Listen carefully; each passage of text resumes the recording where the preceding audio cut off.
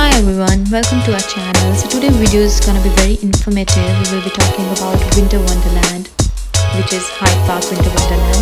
It's a large annual Christmas event held in Hyde Park, London from mid-November to early January. It features several festive markets, over 100 rides and attractions from across Europe, a giant wheel, numerous live shows including a circus, ice show and live music, as well as numerous bars and restaurants. Fun fact, in its first 10 years, Winter Wonderland had 14 million visitors. So let's talk about the tickets. So the entry ticket can cost you around from 0 pounds to um, 8 pounds. It depends upon the peak and off-peak hours and it's better to book your tickets online because then you get an offer if you pre-book some of the rides and food online and it's around 25 pounds so you'll get a free entry there are four gates to enter the park uh, which are gold gate red gate blue gate and green gate. So the place is uh, crowded on weekends and we went there on a Saturday night. So it took us around 45 minutes to enter the park because there was a huge queue. So if you want to avoid standing in the queue you can go there on a weekday. So it will be less crowded and obviously the entry fee will also be less or maybe it will be free on a weekday. So guys, it's our first time here and if it's your first time as well in Winter Wonderland, let's just explore this place. Stay tuned with us and we'll get to know more about this. And uh, I'll see you all in uh, about 30 minutes and then we'll discuss if this place is worth all the hype and uh, money. see y'all. Bye-bye.